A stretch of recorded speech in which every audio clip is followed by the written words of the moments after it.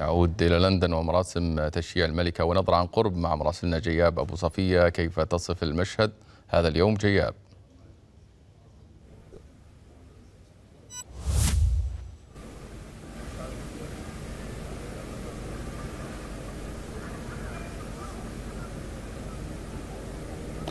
نعم فيصل ما زالت الحشود تتوافد إلى هنا إلى حيث ويستمنستر هول أو قاعة ويستمنستر حيث نعش الملكة إليزابيث الثانية. في محاولة لإلقاء النظرة الأخيرة على نعش الملكة الراحلة قبل أن تغلق أمام العامة في صباح يوم الاثنين المقبل لتبدأ مراسم الجنازة. هذه الطوابير تمتد لنحو ستة كيلومترات.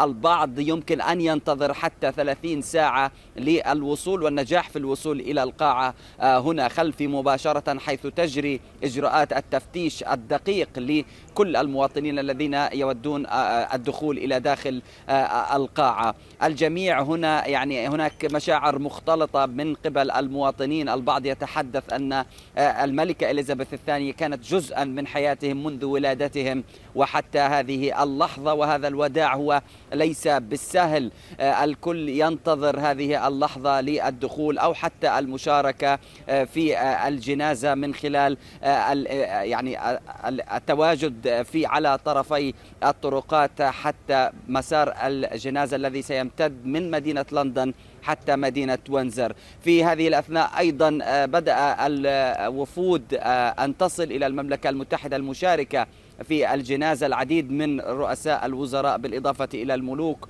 والقادة والزعماء والملكات.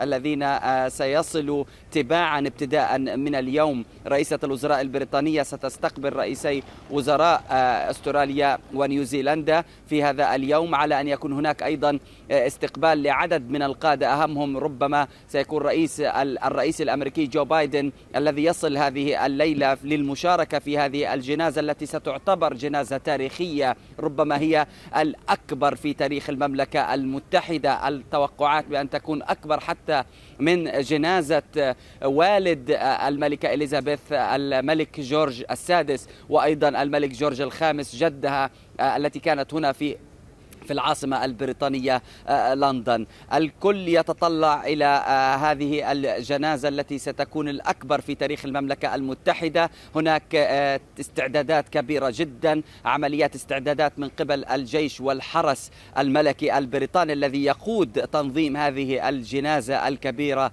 جدا بالإضافة إلى استدعاء عشرات ألاف رجالات الأمن والشرطة من مدن ومناطق مختلفة في المملكة المتحدة للوقوف على هذا التنظيم التنظيم والذي سيعتبر دقيقا جدا. هناك يعني التفاصيل يعني التي يهتم بها الجهات المنظمة أو بالتحديد القوات المسلحة الملكية التي تشارك في هذه الجنازة إما من خلال عمليات التنظيم أو من خلال عمليات يعني النقل من العاصمة البريطانية لندن وحتى قصر وينزور.